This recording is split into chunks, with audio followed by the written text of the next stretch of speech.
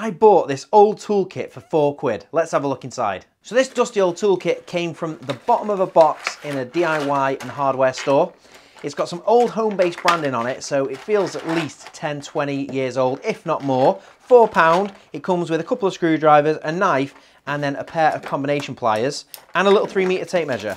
I think four quid's just about right. Would you pay four pound for that lot?